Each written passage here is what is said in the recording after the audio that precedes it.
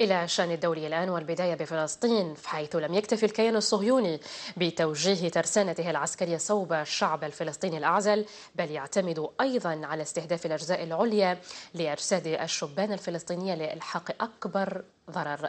صباح محمد تفصل في هذا الموضوع. تتعاطى دولة الكيان الصهيوني مع الهبة الشعبية التي تشهدها مختلف المناطق الفلسطينية والتي فقدت السيطرة عليها مؤخرا بتغير ميزان الدم إزاء تصاعد العمليات الفدائية. الكيان الصهيوني الذي لم يجد حرجا في استخدام الأسلحة المحرمة دوليا في حربه القذرة ضد الفلسطينيين العزل فاستهداف الأزاي العلوية لأجساد الشبان الفلسطينيين أصبح أمرا كثيرا الحدوث لإلحاق أكبر قدر من الضرر لسلامتهم. صار الجيش الإسرائيلي يطلق علينا قنابل غاز وانخنقنا إحنا من قنابل صار عندنا تهيج وجه الإسعاف أخذنا و...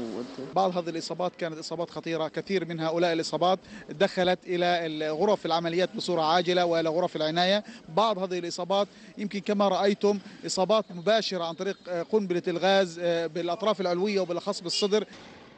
استخدام الكيان الصهيوني المعتدي للقنابل المسيلة للدموع واستهداف الجزء العلوي للمنتفضين الفلسطينيين لكبح جماح الانتفاضة واستباحتها لنفسها لكل ما هو محظور يعد انتهاكا صارخا للقوانين الدولية.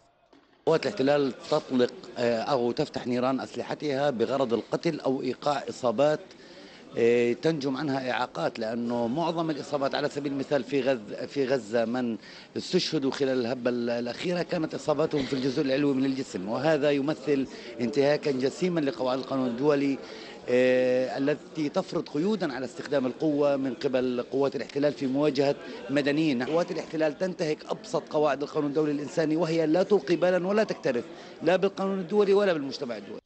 مع ذلك وبالرغم من الكشف الفاضح عن الانتهاكات المتواصلة من قبل الكيان الصهيوني ضد الشعب الفلسطيني إلا أن المجتمع الدولي لا زال مكتوف الأيدي فمتى ينتفض الجميع لمحاسبة كيان احترف سياسة الفرار من العقاب؟ نبقى في الشأن الفلسطيني دائما وفي غزة. صرح نائب رئيس المكتب السياسي لحركة حماس إسماعيل هنية أن دماء شهداء الهبة الشعبية وهم ينتفضون نصرة للقدس والمسجد الأقصى ستبقى سراجا على طريق تحرير فلسطين. وأكد هنية خلال زيارته لجرحى انتفاضة القدس في مستشفى الشفاء بغزة أن استمرار عدوان الصهيوني سيفجر كل الغضب الكامن في نفوس الشعب الفلسطيني وأبناء الأمة العربية. مراسلنا في غزة شعيب يوسف بعث بالتالي.